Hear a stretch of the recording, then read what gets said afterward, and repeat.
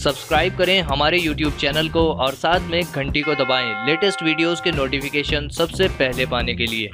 भारत में hero MotoCorp जल्द ही अपनी पहली डीजल बाइक आरएनटी को लॉन्च करने की तैयारी में है। आपको जानकर यह हैरानी होगी कि इस बाइक की कीमत सिर्फ़ अस्सी हज़ार रूपए होगी। इस बाइक की सबसे बड़ी खास बात इसका किफायती होना है। ज़रूरत पड़ने पर आप इस बाइक को एक जनरेटर के रूप में भी इस्तेमाल कर सकते हैं। इस बाइक में आपको 150 सीसी का इंजन देखने को मिलेगा, जो अधिकतम 13.5 bhp का पावर 35 न्यूटन मीटर के टार्क पर प्रदान कर पाने में सक्षम होगा। छह गियर से संचालित होने वाले इस इंजन में लिक्विड कूलिंग तकनीक का इस्तेमाल किया गया है। 17 इंच के बड़े एलाइव व्हील्स के साथ इस बाइक में हाई परफॉर्मेंस ट्यूबलेस टायर्स का इस्तेमाल किया गया है। दुर्गम रास्तों पर आरामदायक राइडिंग के लिए इस बाइक में टेलीस्कोपिक फ्रंट सस्पेंशन इस्तेमाल करने के साथ इसके ग्राउंड क्लियरेंस को एक सौ अड़सठ मिलीमीटर mm तक रखा गया है। 6 लीटर के बड़े फ्यूल टैंक के साथ इस बाइक का माइलेज 50 से 55 किमी लीटर तक होने की उम्मीद है। 136 किलो वजनी इस बाइक में राइडर की सुविधा के लिए डिजिटल स्पीडोमीटर और फ्यूल गेज जैसे फीचर्स उपलब्ध होंगे।